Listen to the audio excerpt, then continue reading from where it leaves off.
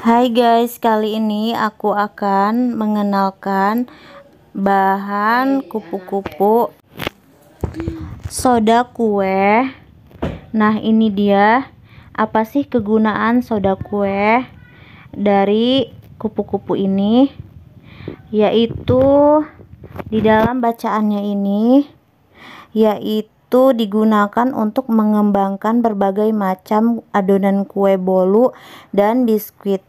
Saran pemakaian adalah sebanyak setengah sendok teh atau 40 gram 4 gram untuk 500 gram adonan.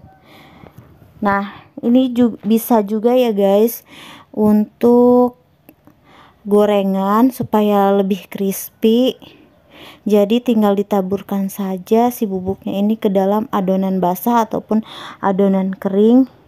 Ini bisa jadi crispy ya guys gorengan kita.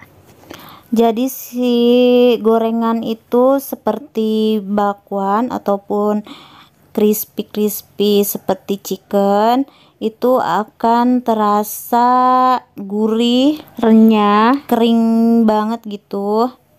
Oke, jangan lupa di like, komen, dan subscribe.